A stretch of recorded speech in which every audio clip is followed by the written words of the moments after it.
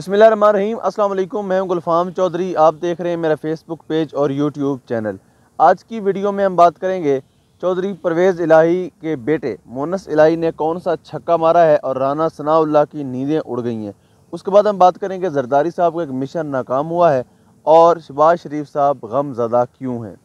तो सबसे पहले हम बात करेंगे शबाज शरीफ साहब की इसम्बली के अंदर की गई एक जोश में तकरीर, जिसमें वो वज़ी अजम कम और एक मजबूर बाप ज़्यादा लग रहे थे। नहीं उनको कभी हमने आवाम के लिए, कौम के लिए, मुल्क के लिए ना इतना जज्बाती देखा, ना इतना अफलातून बनते देखा, न कोई इतनी मिसालें देते देखा, लेकिन कल की सूरत हाल देख कर ये अंदाज़ा हुआ कि वाकई औलाद से बढ़ के कोई दुख नहीं होता।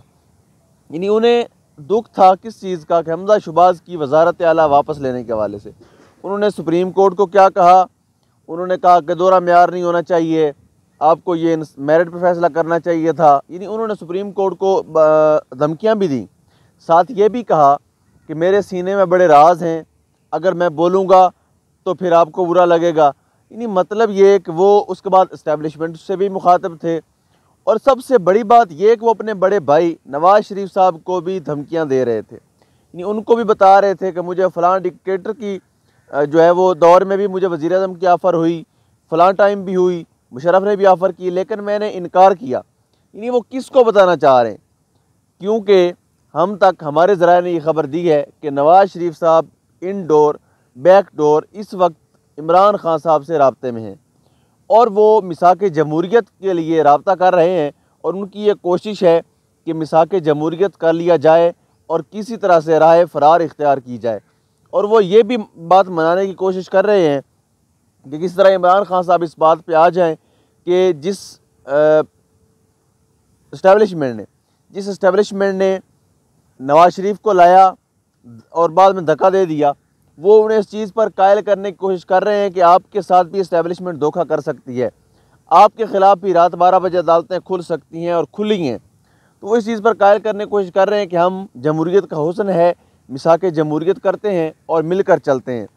लेकिन मिसाक जमहूरीत का नुकसान, अगर इनके साथ मिसाक जमहूरीत खान साहब करते हैं, जो कभी भी नहीं करेंगे, अगर करते हैं तो उसका नुकसान सेम जो मोहतरमा बेनज़ीर भुट्टो साहिबा ने उठाया था, इमरान खान साहब को भी वही उठाना पड़ेगा और उनसे भी ये बाज नहीं आएँगे, उनको भी ये रस्ते से हटाने के लिए हर हद तक जा सकते हैं। क्योंकि मुस्लिम लीग नून की सियासत ही टोटली इंतकाम और फाशिस्ट किस्म की सियासत रही है उन्होंने हमेशा अपने हरीफ का मुकाबला जो है, वो मुखालिफ का मुकाबला हमेशा गिर कर किया है। कभी मेरिट पर पॉलिटिकल वे में नहीं किया।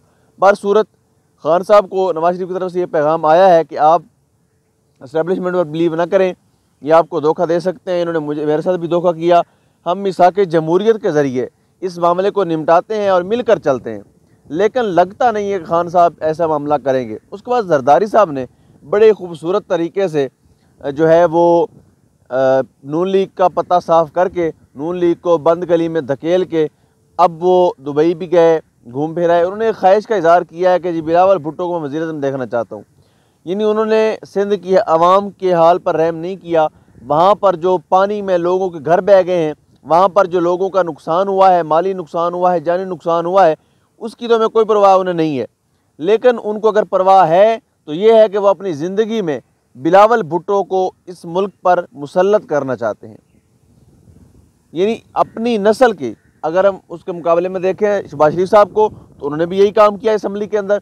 उनका जोश खताबत किसके लिए था? हमजा शबाज की कुर्सी के लिए।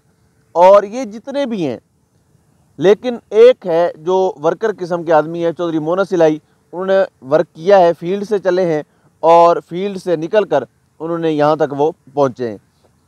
उन्होंने राना सनाउल्ला को बात कही कि अभी तो 24 घंटे भी नहीं हुए और आपकी हवाएँ उड़ गई हैं और आप गवर्नर राज की धमकियाँ देने लगे हैं, कम अज़ कम आइन को ही पढ़ लिया होता। तो ये आइन कानून से आरी लोग होते हैं, ना इनका मुताल होता है, ना इनकी रिसर्च होती है। राना सनाउल्ला जैसे लोग बदयानत लोग, जिन्होंने सारे मॉडल टाउन में बर रास्त कत्ल करवाए, जिन्होंने 25 मई को पाकिस्तान के अंदर, पंजाब के अंदर जो अंधेर नगरी मचाई और पुलिस गर्दी की और जिसकी वजह से मुस्लिम लीग नून को बहुत बड़ा नुकसान भी उठाना पड़ा, उनका वोट भी टूटा और लोग उनसे नफरत करने लगे।